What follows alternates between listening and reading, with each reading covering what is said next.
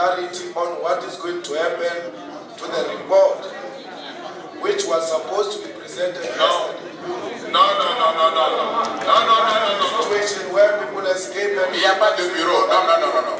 That I cannot, Non.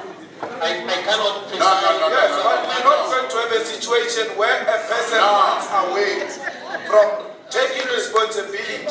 I think you should have raised that honorable member when the chair was on the chair. But he didn't give us a chance, he just escaped from there. Le rapport, c'est Just pas, left. c'est pas un rapport personnel. We need to hold him accountable.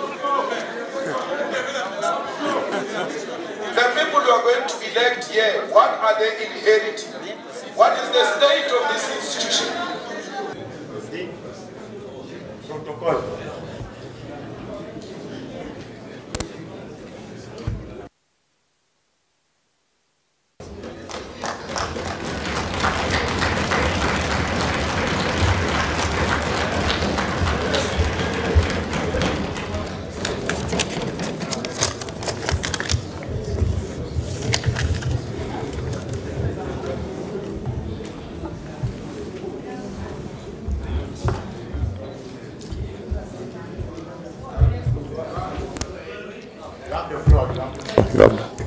Honorable members, dear colleagues, staff and non-staff members, distinguished guests, ladies and gentlemen, good evening.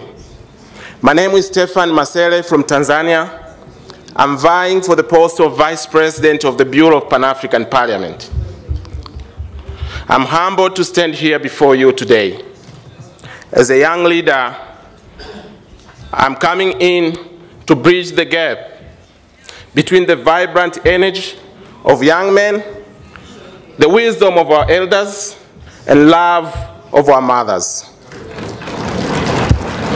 Today, I want to tell the world, and I want this parliament to tell the world, that Africa respect, recognize the, the contributions of young men. I'm standing here to represent the young men of this continent.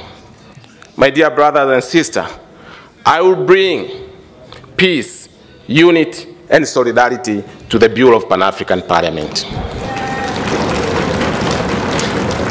I'm inspired, encouraged, and motivated by you, honorable members, to make a good vice president. Because PAP needs a strong bureau. PAP needs to recharge batteries. I'm the new battery. I promise you, I am not going to let you down. I am grateful. I am grateful to be part of this wonderful Pan-African family.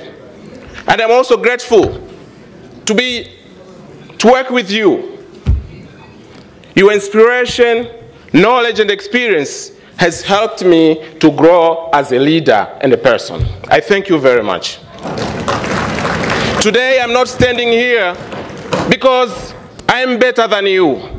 I am not running for vice president because I'm most brilliant than you. I am standing here because of your trust and confidence you have shown in me. And I want to remind you, honorable members, we are very fortunate to be here today. Our role is to advance the unfortunate and not to show off the unfortunate that we are fortunate. We represent the citizens of this continent. We are the voice of the helpless people. We are the voice of people with special needs. Where is our voice gone? If there's something wrong somewhere, no one else will come to fix it. It's us right here, right now. I promise you, I promise you, when elected a vice president, I am going to work together with you. I'm going to work together with you to embrace and promote the Agenda 2063. Malabo Protocol is our baby. The Continental Free Trade Area is our baby. The Open Sky is our baby. These are our flagship projects we must embrace. And I must say, I commend the leadership of His Excellency Paul Kagame, our chairman of AU, for his leadership and visionary leadership. Dear colleagues, I work with you to, to strengthen our institution, Pan-African Parliament, by promoting democracy and good governance. If there will be a need to review our rules of procedure, then we will consider together. I will work with you to restore sustainable peace and security in the region in collaborations with member states.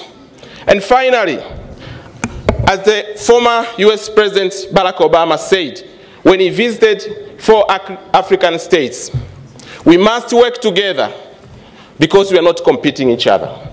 Ultimately, our goal is to build Africa by Africans for Africans.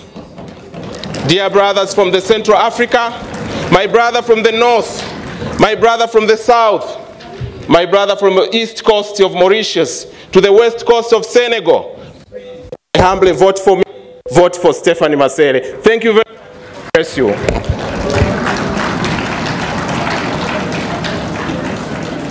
Merci.